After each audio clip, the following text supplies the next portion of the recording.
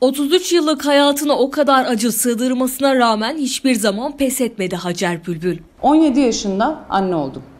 Çok erken yaş olduğu için hatta e, tümör zannettiler, gönderdiler Gaziantep'e. Hani alalım istersen dedi. E, hocam hayır dedim yani. İki buçuk aylık hamileyken ikiz olduğunu öğrendim. İkiz e, çocuk sahibi olacaktım ve ben daha 16 yaşındaydım hamile olduğumu öğrendiğimde. İstahiye ilçesine bağlı Kerkük köyünde 8 çocuklu ailenin son çocuğu olarak dünyaya gelen Hacer Bülbül, annesinin rahatsızlığı nedeniyle ilkokul döneminde okulu bıraktı. 16 yaşında görücü usulüyle çocuk yaşına rağmen gelin, 17 yaşında ikiz çocuklara anne oldu. 21 yaşına geldiğinde ise tiroid kanseri olduğunu öğrendi.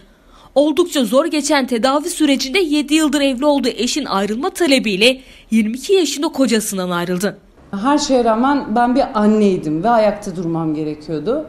Daha sonrasında istediğim şey oldu. Yani ben istiyordum onu. Kanser hastalığına yakalandım. Tiroid kanseri, papiller SEA. Tabii ilk etapta duyduğunuz zaman kanser dendiğinde hani papiller, SEA vesaire ilgilenmiyorsunuz onunla. Kanser misiniz? Evet kansersiniz. Tamam ben öleceğim gözüyle bakıyorsunuz. O hastalığı öğrendikten sonra çocuklarıma bir mahcubiyetim oluşmaya başladı. Bunu ben istemiştim işte çok mu erken oldu gibi falan. Çocuklar 4 yaşındaydı e, yakalandığımda. Çocuklarım 6 yaşındayken ayrılık oldu. Hastalıkla birlikte evliliğim bitti. Hastalıkla birlikte çocuklarımı kaybettim. Hastalıkla birlikte boşandığım için kendi ailemden kaybettiğim insanlar oldu. Bir söz beni çok şey yapmıştı. E, dul olarak geleceğine keşke cenazen gelseydi. Ailemden.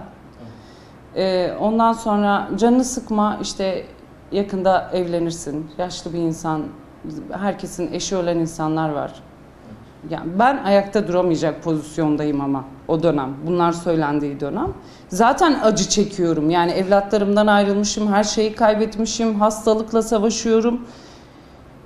O dönem tamamen bitti dedim. Yani hayat, her şey bitti. Benim için artık son nokta. Genç kadın 31 yaşındaysa lenf kanseri için tedavi görmeye başladı. 2 yıl süren tedavi sürecinde ikinci kez kanseri yenmeyi başardı. Hastaneye geldiğimizde sonuçlar çok e, enteresan şekilde yüksek çıktı değerlerim.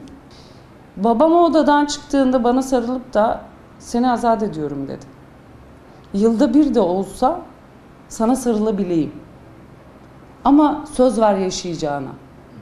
O gün babamın desteği, o gün babam benim elime balyozu verdi. Tamam mı? Yık dedi ya. Tabuları yık ben senin arkandayım dedi. Babam da annem de. Her zaman babamın varlığını ve gücünü yanımda hissettim.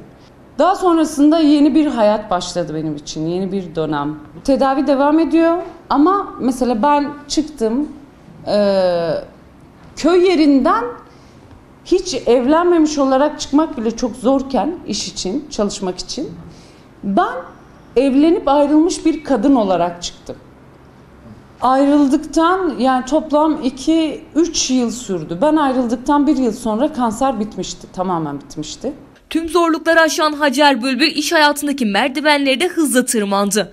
Birçok branşta çalıştıktan sonra yaşam koçu olmaya karar verdi. Kendisine bir danışmanlık şirketi de kuran Bülbül mesleğinde ard arda ödüller alıyor. Üniversitelerde ise bilgi ve tecrübeleriyle eğitimler ve seminerler veriyor. NLP eğitimi aldım. Eğitim öğrenci koçluğu aldım. Kurumsal yönetici koçluğu aldım. EFT teknikleri eğitimlerini aldım. Eğitimlere doyamamaya başladım. Çünkü kendimle tam tanışma noktam oydu aslında. Evet şu an bu kadar şey yaşamış olabilirim. Evet çok acı çektim. Çok acı çektim. Ee, öldüm bittim denilecek kadar acılar çektim ama hiçbir zaman pes etmedim. Bütün kadınlara sesleniyorum. Hayatınızda her şeyi yaşayabilirsiniz. En acı şeyleri de yaşayabilirsiniz ama dönüp ağlamayın.